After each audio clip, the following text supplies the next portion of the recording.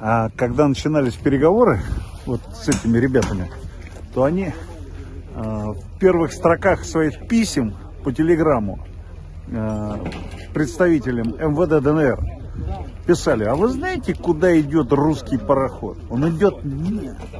Вот оно.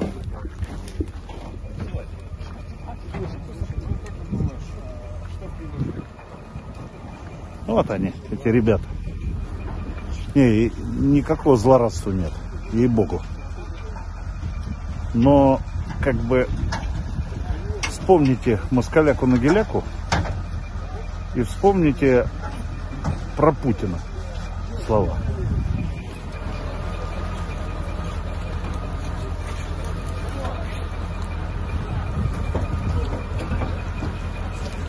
Вот и ответ.